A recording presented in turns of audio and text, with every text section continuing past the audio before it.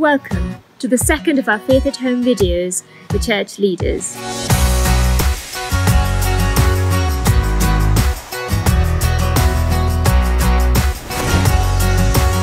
Faith at Home is about finding God together in the everyday parts of life.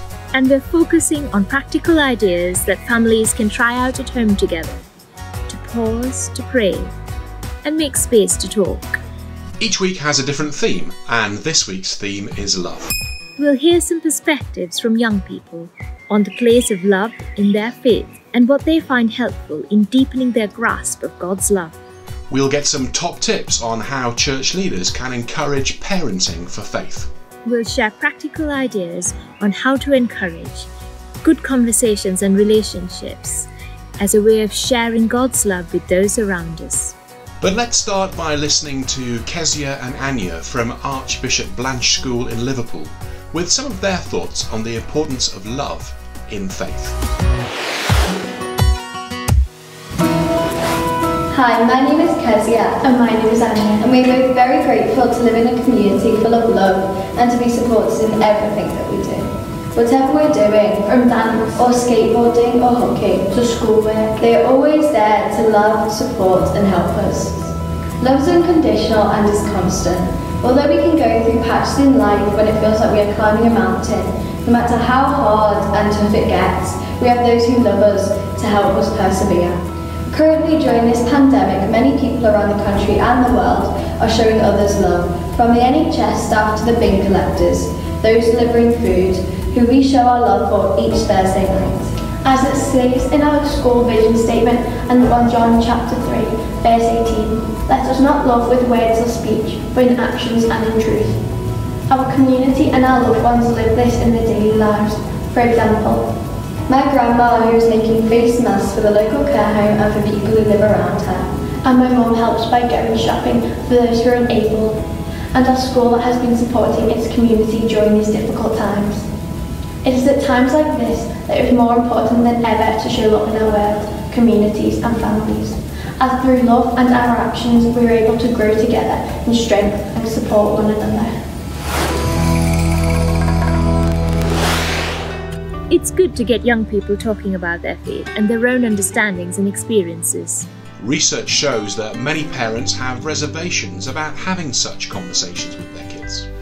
One reason for this is a lack of confidence, a concern that they might say the wrong thing.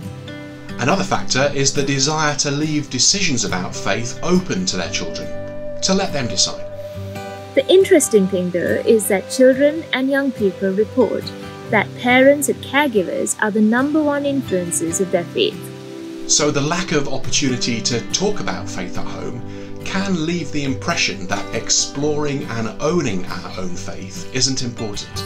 Parenting for Faith was set up to find ways to make such conversations a more natural part of our homes. Here's Rachel Turner with her top tips on how we as church leaders can be more proactive in supporting and encouraging parents. We all want parents to be able to step into their role as people who can help their children meet to know God at home. But many parents and carers are quite unconfident, sometimes because they don't feel they're expert of Christian enough or that they don't feel confident enough to start those conversations. And that means they often hold themselves back. One of the most powerful things we can do as church leaders is to speak key truths into these parents and carers' minds that they may feel confident and competent to do this. Here are nine key truths that parents need to hear from us, church leaders. Number one, God has given you a place of significant influence in the spiritual lives of your children. Influence flows through connection, and you, as parents, have the most connection with your children out of anybody. Also, what kids need to have is someone in their lives showing them how ordinary everyday life with God looks. God has given you that influence. Number two, the church cannot be as effective at this as you can. You know your child better than church does, and you have so many more hours with your children than church ever could. Number three, God knows what parenting is like. He knows that parenting is exhausting and tiring and stressful, and yet He still designed children's discipleship to happen in the home, which means just as you are, you can do it well. Number four, what children need to see most is to see what a real relationship with God looks like up close and in the everyday. When things are good and bad and boring, that's where God is. He is in those ordinary bits of life, and you can show them where God is in all of it. Number five, how you parent for faith will be different from how others do it. You are the expert in your own child, and it will look different from everybody else. There is no one right way of doing it, just your way. Number six, you are already doing lots of useful and significant spiritual discipling. In your everyday life, you are influencing your children's faith more than you think. You're already doing well. Number seven, your relationship with God is a journey. You don't have to, as a parent, be fantastic at all of this. You don't need to be perfect. You being on a journey is a powerful testimony of how God walks alongside of us. Number eight, your children are also on a journey in their relationship with God. Your job as a parent is to help them on their journey and to walk alongside of them. You don't have to be the end goal, just a co journeyer of faith. And number nine, you are not alone. Us as church leaders, we are here to support you and encourage you and have your back. We are one big community cheering you on and helping you and equipping you. When parents and carers hear these messages from our mouths, from our writing, no matter how we drip feed them into their lives, they can begin to feel like they can do this. They can help their families meet and know God at home and feel supported by us. So grab one or two of these key truths and start dripping it into your parents' lives and ministries, and you'll see massive fruit.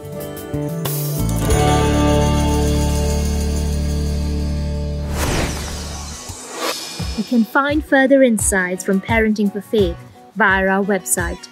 You might also be interested in one of Rachel's many books on the topic. You can also find more from Rachel on our weekly videos for parents. With love being core to our faith, encouraging good conversations about emotions and secure relationships just matter full stop. Our partners at HeartSmart work with schools and communities to promote such positive environments. Here's Dave to tell us a little bit more about their work. Hello, I'm Dave. My name's Boris the Robot. And we're here from Boris's Shed. And we're here from an organisation called HeartSmart, which is it's a resource for schools, but actually, do you know what? It's a resource for kids. And so that's why we've made it available for you guys at home. We have five key HeartSmart values. We say, don't forget to let love in, which is all about understanding you're important and loved, isn't it, Boris? Yes, everyone is important. Exactly. Uh, we also say too much selfie isn't healthy, and that's about recognising that there's someone else in the room that they're also loved and important. We say don't hold on to what's wrong. What's that about, Boris? That, Dave, is all about forgiveness. Exactly. Forgiveness is a gift for yourself as well as for other people. It means you can keep making powerful choices in the future knowing you've dealt with the past. Fake is a mistake is the fourth heart smart value, and then the last one is no way through isn't true. What's that all about, Boris? It does what it says on the tin. it does what it says on the tin. It just means that you just keep being able to have hope and keep looking to the future and keep uh, choosing to find a way through. So um, we've made all these resources available to you to be able to do stuff at home. Just head to www.heartsmart.family. Uh, there's lots of games, films, activities, and we really hope to see you there, don't we, Boris? Yeah, we look forward to seeing you there. Bye.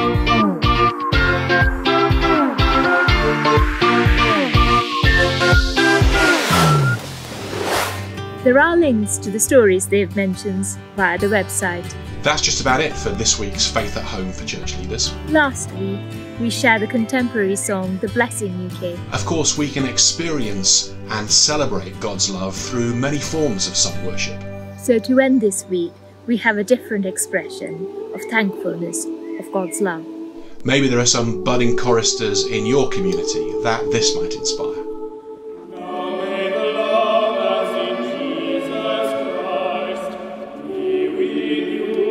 As director of the Choir Church project in Portsmouth, this piece is very dear to my heart as it allows us to celebrate God's love using the same notes slightly rearranged in a cathedral setting and also in our school setting.